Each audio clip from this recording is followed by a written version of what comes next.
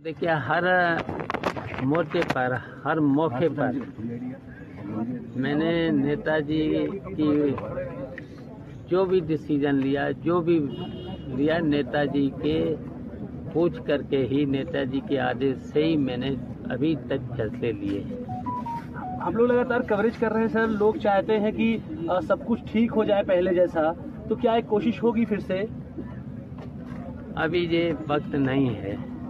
अभी वक्त नहीं है ये। जब वक्त आएगा तब देखा जाएगा।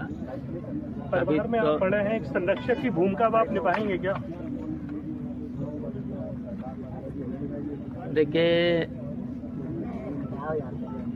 जो ज़िम्मेदारी जो ज़िम्मेदारी मिलेगी उसे निभाएँगे। और वैसे तो अगर ज़िम्मेदारी नहीं भी मिलती है तब भी जो हमारे साथ जुड़े हैं,